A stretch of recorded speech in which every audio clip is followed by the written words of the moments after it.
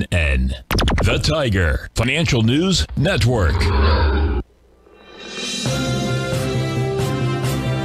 TFNN. Headline News Update. Good morning, everyone. Basil Chapman here on this Tuesday, the 10th of May. This is the 10 a.m. market update, TFNN market update. We're looking at the Dow 363 at 32,608.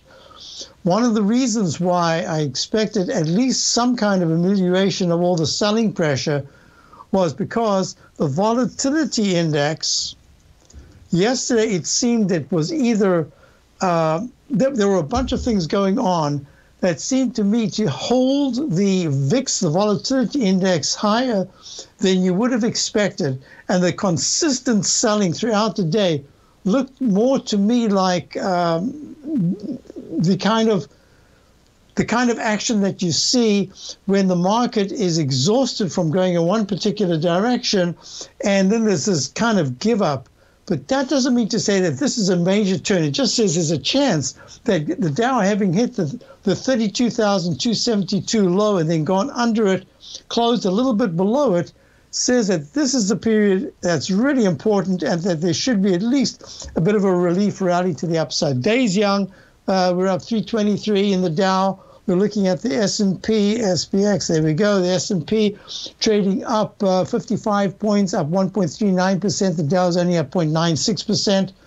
Uh, we're also looking at uh, at 4,047. It went under the 4,000 level yesterday. Now it's back above, and that's making. I like to look at levels, round numbers, as millennium levels or 100 levels as really important. So the 4,000 level is a psychological level to be monitoring, just as the 32,000 for the Dow is. The QQQ is a little different because the selling pressure, that extra selling pressure you saw yesterday, said to me that based on the uh, technicals that I look at, the on balance volume was just overbought enough to have a little bit, maybe the the the Qs at this particular point can actually lead the move up. It's up 2.1 percent uh, of 6 at 303. We'll see the day's young.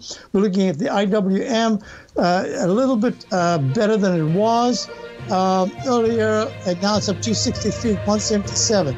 We'll look at gold. Gold quickly. Gold is just down at the bottom. It's holding uh, at key support level at 1856. And you're looking at crude oil. Crude oil is uh, down, and the TLT is trying to establish some kind of a decent tradable low for a bounce. I'll be back with the Tiger Technicians Hour and check out my